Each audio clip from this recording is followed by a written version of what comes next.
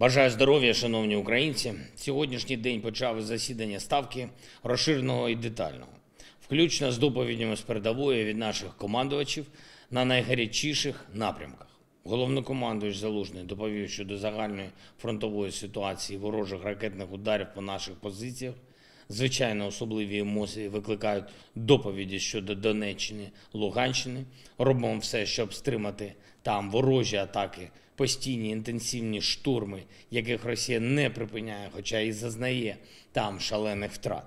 Генерал Сирський доповів про Бахмутський та Лиманський напрямок, жорстокі бої, принципові бої. Робимо все, щоб підтримати наших хлопців. Генерал Тарнавський доповів щодо боїв на Авдіївському та інших напрямках. Окупанти застосовують там увесь спектр зброї проти наших хлопців, включно навіть зі сльозогінними гранатами. Але дуже важливо, попри увесь тиск на наші сили, лінія фронту змін не зазнала. Я дякую за це усім нашим бійцям, усім солдатам і сержантам, офіцерам і генералам, які захищають відповідні фронтові напрямки.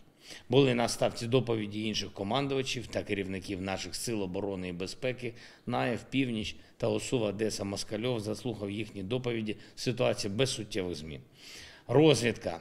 Керівник Гурмо Буданов щодо реальної ситуації російських загравань з риторикою про стратегічну зброю, зовнішня розвідка, Служба безпеки України, сили МВС та Нацгвардії, прикордонна служба, міністр оборони, інші представники уряду. Тримаємо повну увагу до кожної деталі нашого плану оборони та амбіцій ворога. Була і доповідь прем'єр-міністра України Дениса Шмигаля щодо ситуації в енергетиці та процесу відновлення нашої енергосистеми після російських ударів.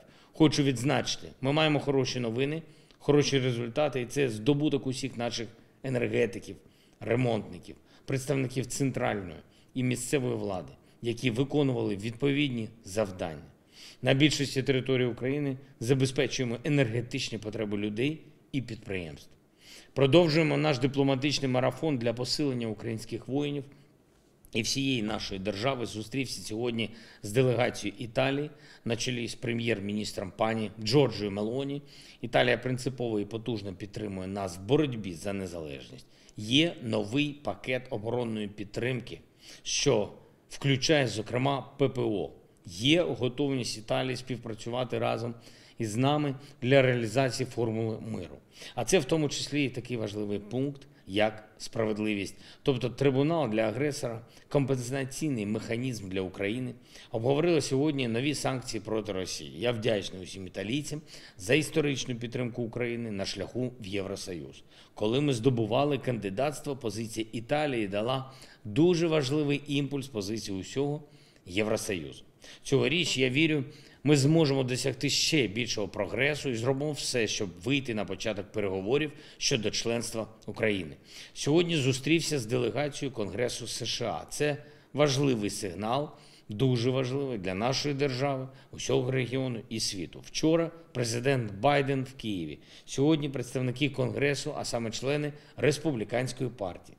Наша співпраця з Америкою не припиняється ані на день, ані на хвилину. Ми разом дієво зміцнюємо глобальну безпеку. І, до речі, розгублені скарги, що звучать із Москви, є лише зайвим доказом нашої ефективності України, Сполучених Штатів та усього вільного світу.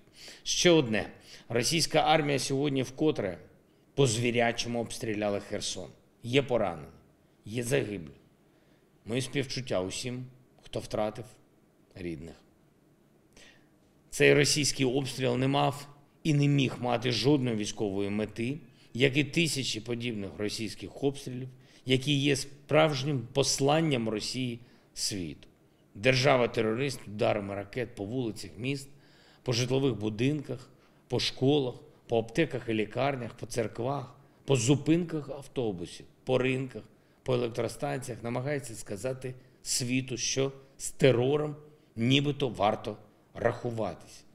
Я впевнений, що ми поставимо на місце державу терориста всі разом, українці і світ.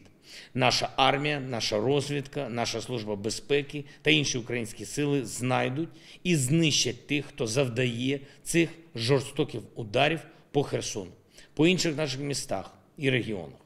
А ширше ми доведемо, що рахуватися варто лише з людяністю, лише зі статутом ООН і лише з правом кожного народу жити вільно і захищено від терору і таких божевільних агресій, як російська. Я дякую всім, хто захищає нашу державу. Я дякую всім, хто воює за Україну на фронті прямо зараз, хто тримає наші кордони, хто береже наше небо, наше море, хто виробляє і постачає техніку та боєприпаси для наших воїнів, і хто забезпечує нас якісною розвідувальною інформацією. Слава нашим воїнам! Вічна пам'ять усім, чиє життя забрала Росія і ця війна. Слава Україні!